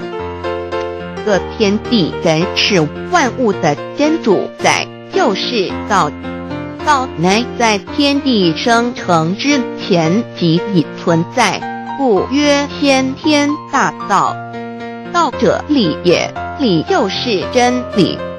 在天地人万物未生以前，道即已存在，而道能生天、生地、生人、生万物万类。在天地人万物毁灭之后。道不会毁灭，道因为无去无来，不生不灭，乃代表着宇宙间亘古不变的真理。道的本体，也就是宇宙自然的本体，在混沌未探之初，宇宙间只是一团灵妙理，无天无地无人。也没有语言和文字，所以我们是无法以任何语言、文字或思虑来形容它。故大道无名强名曰道，我们也是勉强用到这个名词来代表它。在天地万物生成之后。早就能贯穿于宇宙万事万物之中，使一切的自然现象均能呈现和谐有条不紊的运转。这就是道的妙用。道大理为，我们虽然无时无刻离不开道的本体和妙用，却又很不容易去认识它。因此，在两三千年前，各教圣人应运出世，各化一方，针对当时天时地利及众生的根气，留下千经万典，传下诸多去恶从善的修持法门，同时也让芸芸众生认识了冥冥中宇宙万事万物均有一个真正的主宰，或称为上帝，或称为造化，或称为天主。我们称其为道或无生老，均是一名而同义。我们对道有了深一层的认识和体悟之后，就会了解。天地间实无一物不是道之本体与妙用的合一，因此道虽然含在各大教门的经义，为天门外教的总源头，确实不局限于宗教的领域里。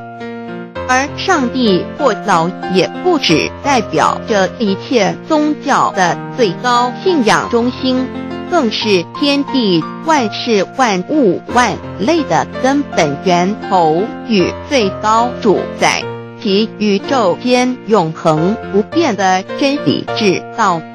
所以，我们今天有机会了解什么是先天大道。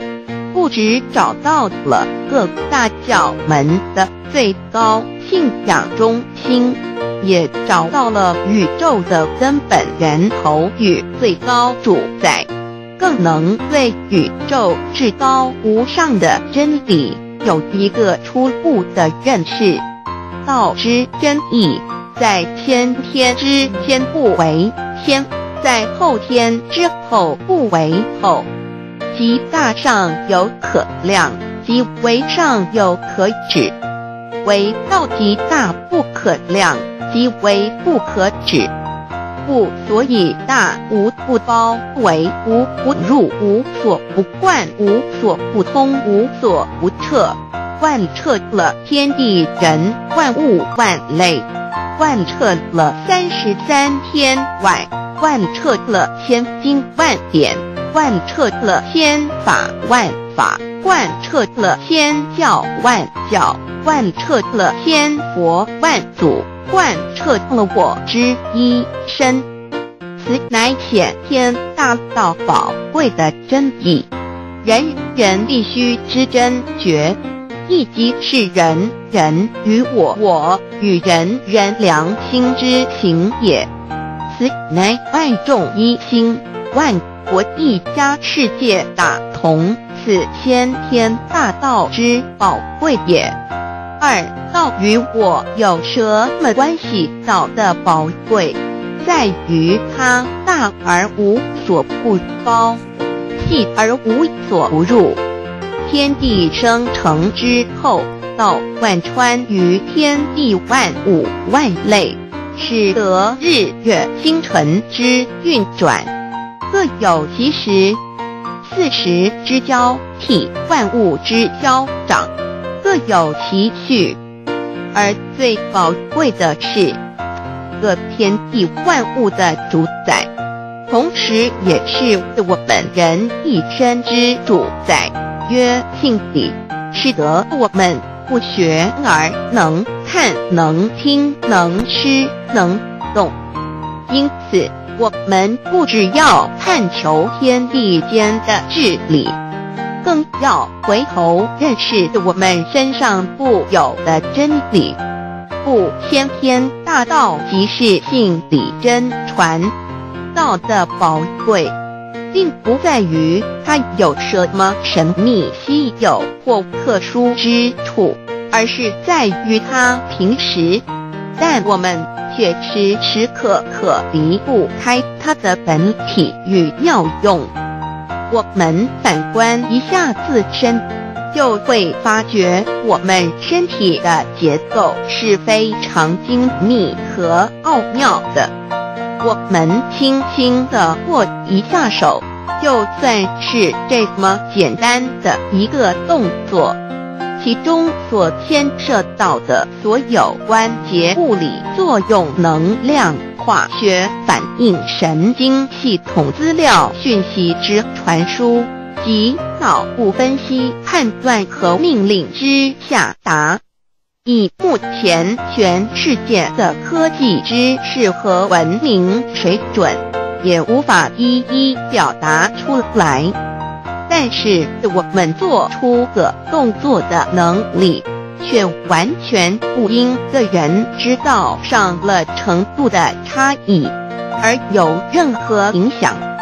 无论是学识多丰富的学者。或是目不识丁贩夫走足，无论是成人，或是刚出生不久的婴儿，都可以轻而易举地做出的动作。人人与生俱来，不学而知，不学而能，无增无减的良知良能，就是主宰我们一生的道。我们有学习而得到的知识和才能，有忘记的时候，有疏远的时候，而道的本体和妙用，不用学习，不用思考，大而能主宰宇宙的运作消长，小而能主宰我们一生之视听言动。我们有而不知其有，用而不知其用，却又无时无刻不能缺少它的不增不减，本自具足一切我们身上固有的道，因为就在我们身上，又称作自信老。我们了解了个主宰天地万物的道。在我们身上就有它的作用，不应受到我们赞美或否认而有任何增减。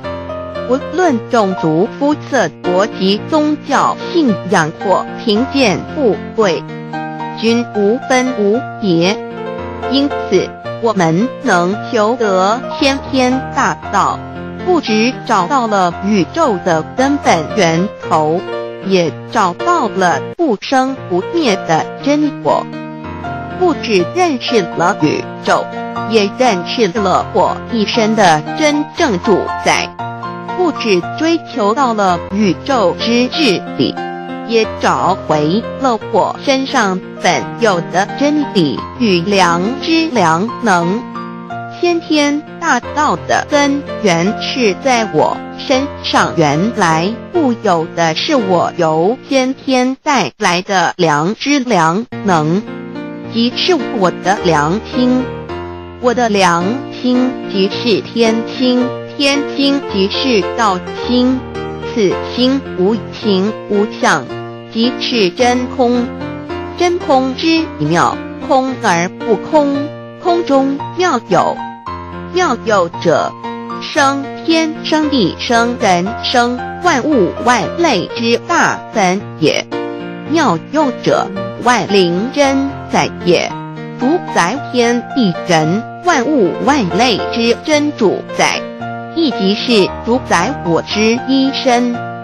故曰道在无身，一切万能；道离无身，此身百无一能。先天大道如此宝贵，乃人人必须追求之道也。三求道是求什么？静心观察我们所存在的这个宇宙，我们往往会赞造物主的神奇。自然界每一刻皆有无数的事物在同时运转。而其整体却又是那么协调。我们身上的个真理物也是一样吗？每一分一秒，我们身上皆有无数的生化反应、物理作用的同时发生。道的妙用分布在我们身上，不用学习，不用思考，其作用。虽成千上万，合起来却只有一个自我，一切有条不紊，自然而成。道在无声，运用自如，在眼能视，在耳能听，在口能言，在鼻能闻香臭，在身能运用情动做事。此即道在我身之妙用。所以，我们了解了道，不止主宰着天地万物，更主宰我们一身。宇宙根本源头最高主宰于我一身主宰，并非二也。道的本体无形无相，我们肉眼看不到它，手也摸不到它。但它却无时无刻不在发挥其妙用，更进而随着天时及环境而发展出语言文字经典及造福人类的文明。此即是我们良知良能之作用。一般人不了解到在于我们自身的本体和妙用。只模糊意识到它的存在，便以灵魂代表它。我们称其为自性老，因其没有生灭，也不会毁坏。我们也称其为真我，此真我乃是最富足、最圆满、最光明、最完美、永恒不朽的。现在我们来生一看，看得见摸得着有形有相的肉体，能不能代表我把一个人生命中不同阶段的照片拿来比较，我们就可发觉，面貌是无时无刻不在变化的。我们一般均习惯以相貌认人，但。相貌却不是永恒的，我们的肢体也不是真我。某些人不幸失去了一只手或一只脚，仍是好好的活着。我们的内脏呢？现在科学昌明，其至仅能把动物的心脏成功地植入人体。我们不能因此说。的人不是他自己了。就算头的脑细胞，从我们一出生就开始不断的在坏死、减少和变化之，因此有形有象的肉体只是真我的一个工具而已。肉体虽然看似真实，却无时无刻不在改变之中。不拘束十年，又变成一堆黄土，因它不是永恒的，我们称之为假我。对于真我和假我有所了解之后，我们也就可以了解，我们为什么要求到了。如今我们非常幸运，能有机会求得先天大道。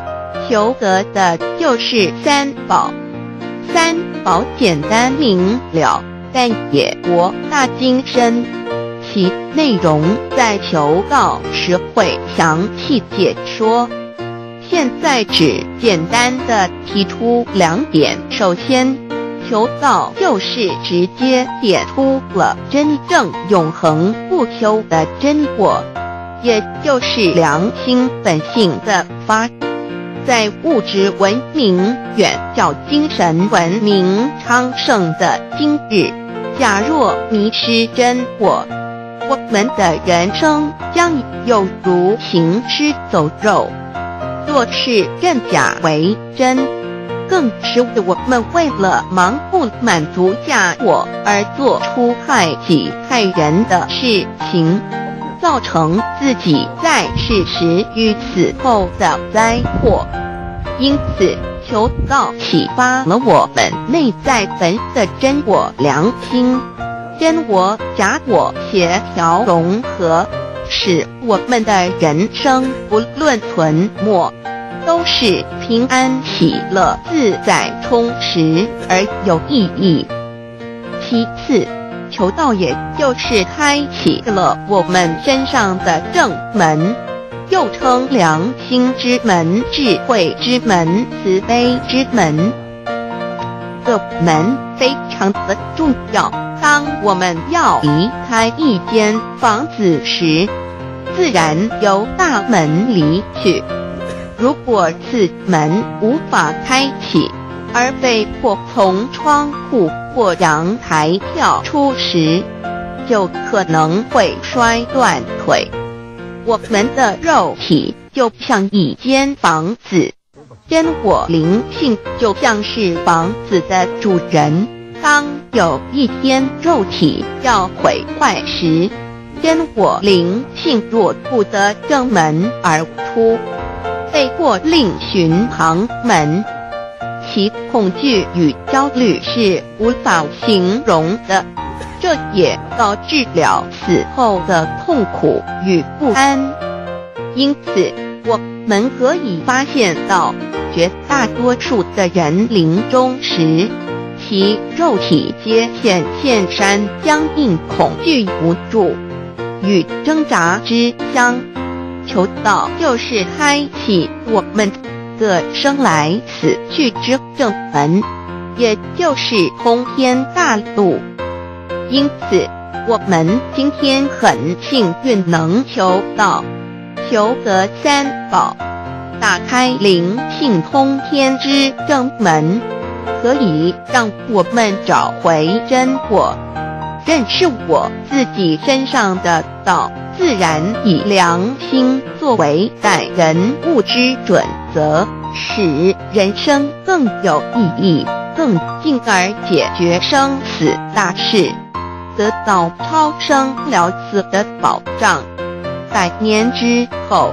回到我们的来故家乡，所以先天大道就是回天之道。先天大道之宝贵，即是千金万点不如一点。此点打开玄关正门佛门，天堂大路一步之超级的永生之道。此典宝贵。超佛越祖，超经越典，超越天地，得到这一点宝贵。它是诸经之师，诸法之王，诸佛之天地之，故曰超生了四极的永生，不毁不灭之先天大道也。此乃即是人人原来固有的。必须返回天之道也。四求道对我有什么好处？我们今天很高兴能有个机缘求道，能够开启良心之门、智慧之门、通天之正门，这是第一步。这宝贵的道，还能带给我们终生受用不尽的福之益，离苦的乐。人生在世，遭受种种之苦恼，就其根源，皆起因于迷失了真我。求道，首先就是让我们认识人人身上固有的道。找回我们本走至真至善至美具足圆满永恒不休的真我，在日常言行之中发挥真我，使我们一举一动皆能合于理，止于至善，自然不会受周遭的人事物所左右，我们的心也就不会患得患失。心为一身之主，我们既然在心境上有所提升，自然不会与邪恶之事相感应，则不相随心转，还可以改变命运，趋吉避凶，朝向光明，使我们得到真正的喜悦、逍遥自在。二多地南自有人类文明以来，道的真意便代代单传独授，其没落贯穿了早期的主要文明，如中国、印度等。奈何近百年来，人类受物欲所逼。在空前繁荣的物质文明中，逐渐迷昧了良心，甚至竟将制造威力极大的杀人武器。回顾数千年人类历史，在近在短短数十年间，便发生了两次世界大战，无数挑战，伤亡无数。滥用科技文明，同时也损害了自然环境，造成大气臭氧层之破坏，全球性气候的改变，人心之变，干造了天灾人祸连连。人类已为自己酝酿了一个空前的浩劫，因此，上帝洪恩慈悲。特将大道谱传于世，以挽救良善。求道以后，我们时刻存着道心，以良心待人处事。当遇有人力不可挽救的灾祸时，只要诚心使用三宝，必能灾必劫，逢凶化吉。此事验证甚多。不生枚举，三超生了四人生，又如一段苦乐相参的旅程，遭受生存竞争、衰老、病痛、死亡等困苦，人皆难免。而人间种种欢乐，又往往是短暂易变的，尤其当旅程结束时，终就成空。灰速渺茫，更不禁令人凄独怅惘。是以智慧者有见于此，乃以超生了死，追求真实永恒的人生意义为人生至高之目标，古代先修后的。因此，古人为求超生了死，尽毕生之力。不修苦行，仍难以访得名师达成心愿。如今大道普传，先道后修，在求道过程中，天命名师一指，开启了我们通天正门，先赋予超生了死的保障。我们得道以后，认识了真我。以真我为主宰，远离邪心妄念，让我们的心念、言语、行为，无论待人处事，皆合于良知。百年之后，真我灵性自然返回故家乡，永享平安喜乐。成圣成贤求道，也就是为我们种下一个成圣成贤的正因道种。只要我们以智慧、慈悲、清净灌溉它，它必然萌芽、开花、结果。在此功利主义弥漫的黑暗时代，大道乃是光明的灯塔。求道修道，不仅让我们能够独善其身，更使我们有机会可以兼善天下。求道之后，只要我们时刻抱着道心、良心，在日常生活中真诚实践道的精神，不计个人得失荣辱。努力使周围每一个人都可得享到的好处，让道的光明照亮每一个角落，尽其一生精进不懈，则在世即成就圣贤事业。归天之后，必正圣贤，果位无疑。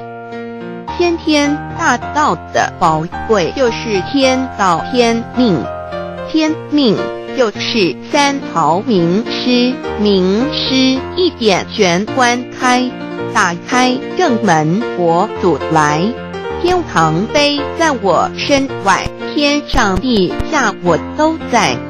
此乃先天大道的尊至贵至宝也。先天大道。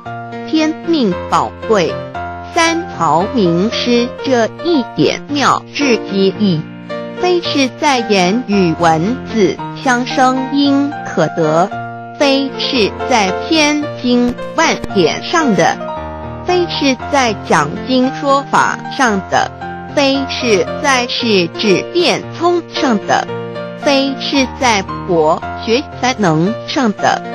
非是在才高八斗上的，以上皆是生死法对待法，非是超生了死脱对待了生死之法也。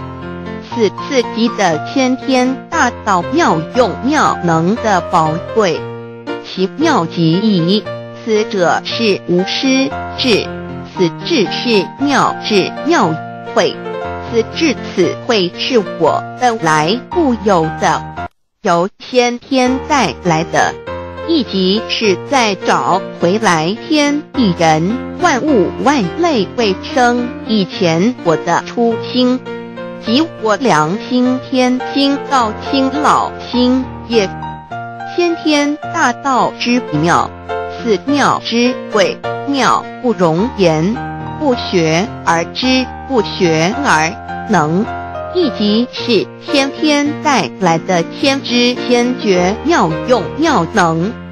此知此觉此能此用，不用言语文字声色，不用思想，不用念头，不用言听是动，而生天地人万物万类，生天地人万物万类之后。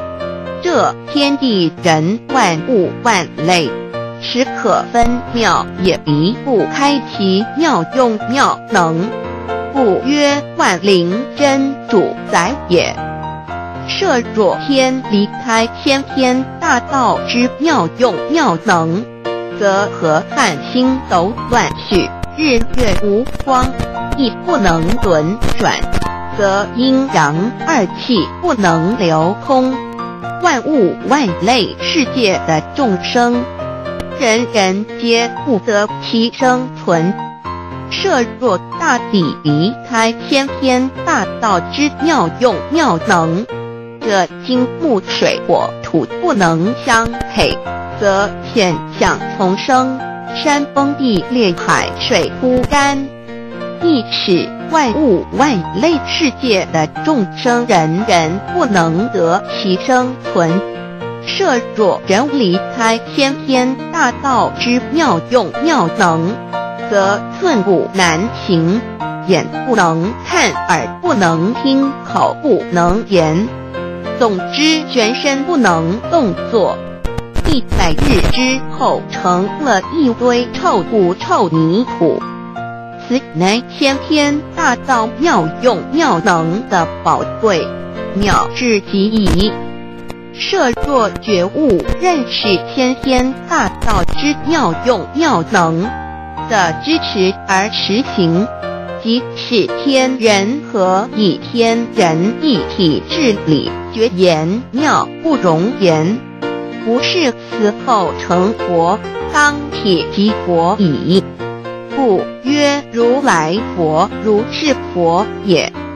此乃的先天大道修先天大道之好处。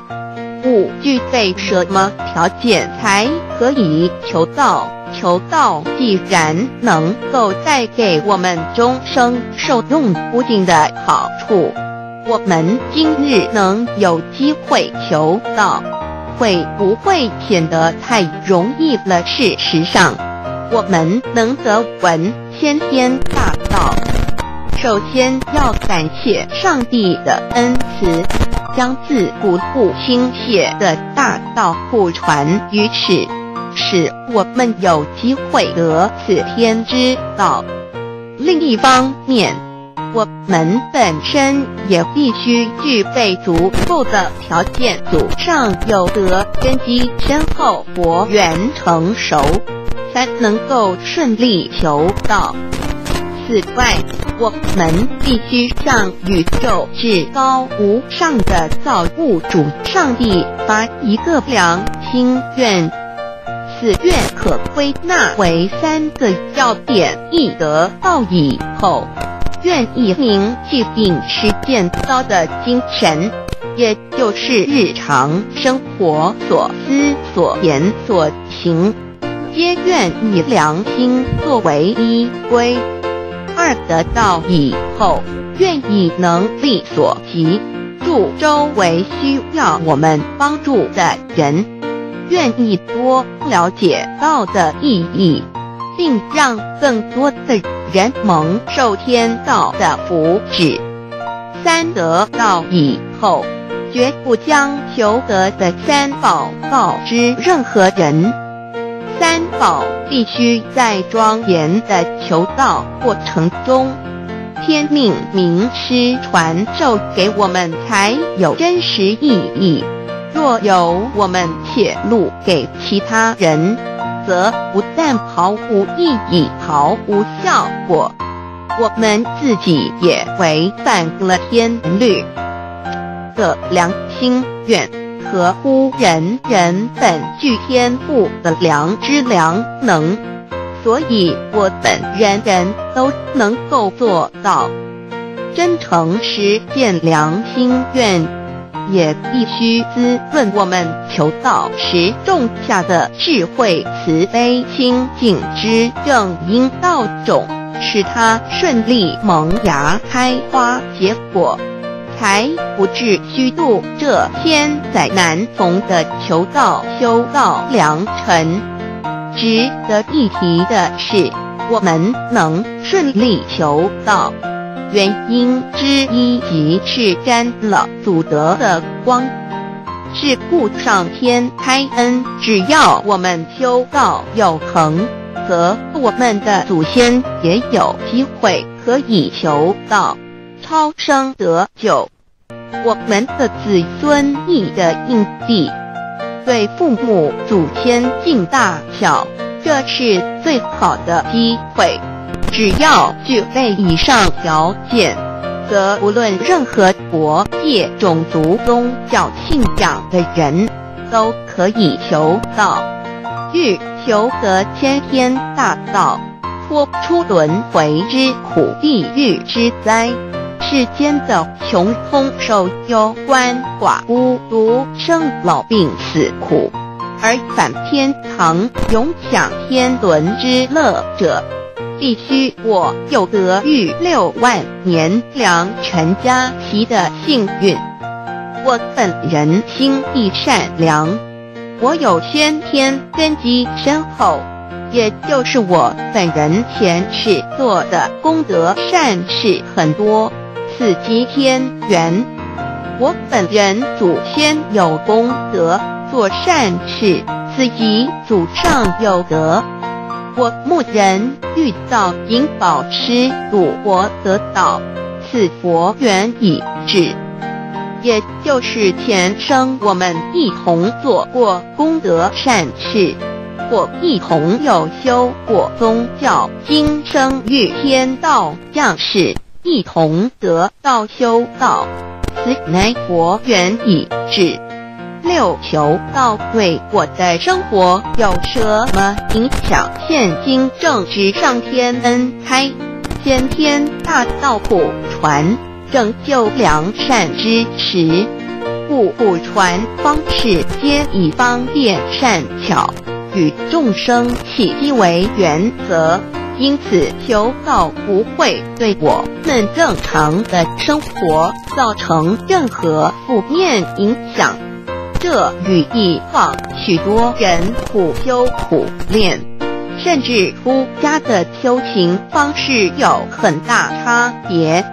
也正因为如此，先天大道能在日新月异的现代，适应社会的各个阶层，穿布到世界的各个角落，使人人皆有共沾天恩的闻大道的机会。关于求道对生活有什么影响？我们就以下几点来看：一与任何宗教没有冲突，道代表着天地万物及我们一生之最高主宰与真理。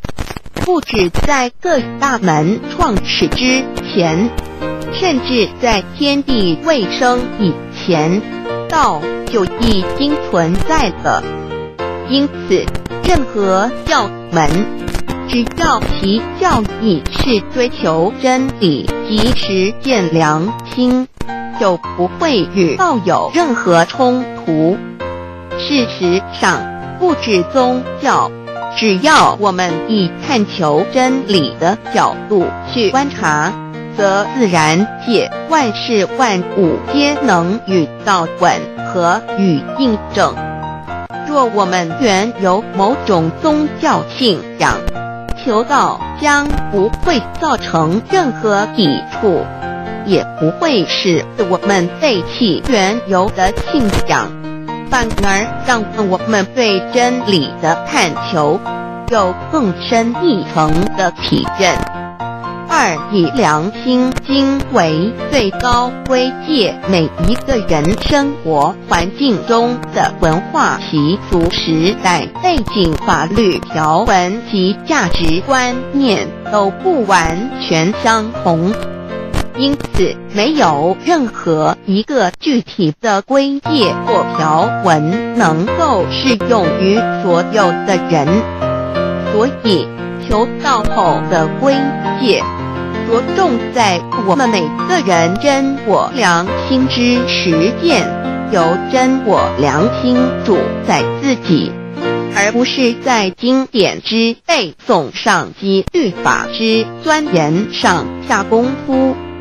三不照良心愿行，有何后果？很重要的一点，求道并非从外在加给我们良心与真理。而是借着开启我们智慧慈悲之门，找回我们身上固有的真理，让天理良心自然流露。因此，求道后，所有真修实行之人，皆是自动自发的。师父，求道后，若我们不照良心愿而行，并非。将出现任何外力来强制我们遵行此愿，而是将受到自己良心的谴责，由真我良心督促自己，而自然改过向善。自圣凡间修真我之实践，并不局限于教堂或寺庙之中。因此，现今大道普传，并不要我们家舍业到深山古寺之中修炼，而是在不影响家庭、工作、学业之正常情况下，圣凡间修，在日常生活中时时刻刻一言一行。皆能以天理良心为依归，就是真我之实践，故由提升自己而兼善天下，求道后会使我们生活更充实，心灵更和谐。而更重要的是，我们每一个人尽一己之力，且自身之提升。影响周遭之人事物，继而汇成一股力量，在这举世天理良心日趋沦丧之潮流中，匡正人心，力挽狂澜。如此必能早日实现先天大道普传之宗旨，及弥勒佛的原慈大愿化污则的人间为人间净土，化纷乱的世界为世间天国。七道的宝贵有什么印证到是宇宙的至高真理？它的作用贯穿了天地万物万类，更是我们一生之最高主宰。真正了解了这一点，我们就会体认到，道是随时随处可以被印证的。许多贤贤得道之后，发出了大诚心、大信心、大智慧、真修真行，皆能参悟到。不止在各教经典之中可以印证到，其实在任何时间空间、万事万物，我们之一身，甚至一草一木。皆离不开道的本体和妙用，体认至此，自然能发出永不退转之道心。而尚未求道或刚求道者，则需借助于一些具有形象、看得到、感受得到的印证，以奠定初步的信心。以任何人。只要有求道，经过身但天命之名师点开玄关正门，传授三宝者，不论其功德高深为末，死后皆是身软如棉，面色如生，灵性由正门归天，东不品湿，下不腐臭。甚有多至数日不变，一腔满志者。目前的科技文明和医学知识还未进步到足以解释这种现象，但却无法否认这事实的存在。这种现象虽曾出现在某些宗教中，但极其罕见而珍贵。而求道之人，徒信道不足于反道败德者，不敢定论外，其余则比比皆是。肉身既显自瑞香，足可证其灵性已登善境，当无疑问。二人虽不为万物之灵，其实是很脆弱的。自从生在这个世界上，就难免天灾人祸的威胁，甚多以求道者，在遇到人力不可挽救之危急情况下，诚心使用三宝，皆能大事化小，小事化无。这种例证多得不可胜数。无法在此一一例举。以上两点虽然极为宝贵，但却是任何人只要一求道，借着上帝的天命宝贵，立刻就可以得到的保障。此后就随个人的诚心、智慧及对真理之实践，而有或深或浅。不同的体验了，如人饮水，冷暖自知。希望各位具有善根、有机会能得闻大道的先生女士，皆能入宝山而满载而归，皆能求道而同真善境。Introduction to DAY What is DAYI? DAO and MEII. What it is in DAOID. Dot what do I get in RECID and in DAOB what do we need to receive DAOBI?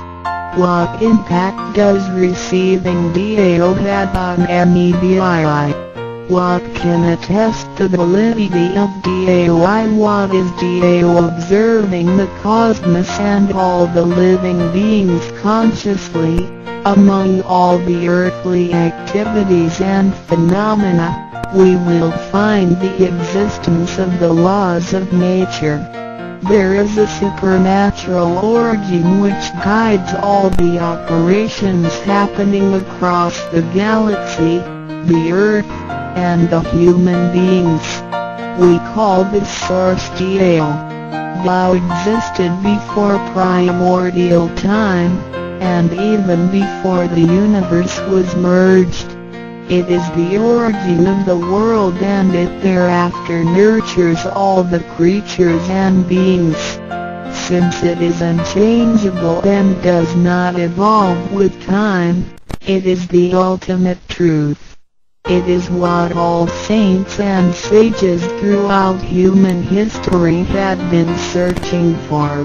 The essence of Tao is the foundation of nature. The law or the power that existed before the universe was formed is beyond description because there were no civilizations nor creatures, let alone languages. Since it cannot be applied any name, we simply call it Tao. After the world was merged, along with the mutations of the universe, we see the harmonious actions as exhibited in seasonal changes, rhythms of time and tide, and the balance of the ecosystem. We also find some conformity of human nature across various cultures. These prove the laws of nature. This is the extension of that original Tao when it is substantiated and materialized. It merged into everything that is within within us. Now that we know Tao is present universally and yet difficult to be recognized, there had been prophets and preachers trying to make us know and understand the origin and the truth of life through various teachings and literature since the beginning of civilization. They were scattered around the world throughout history. As a result, great commandments were taught to disciples and goodness and badness were differentiated. These teachings varied, based on differences in culture, background, timing and the level of each individual's comprehension. However, they all tried to express and transmit to their descendants this creator and chief of the universe. It is God, or what we call Tao. As we get to know it more and more, we will realize that the essence of Tao and its effect covers every existence without any exceptions. Tao is actually the headwaters of all religions. It embraces the essence of all the preaching and teachings. And yet, it is superior to the system of belief.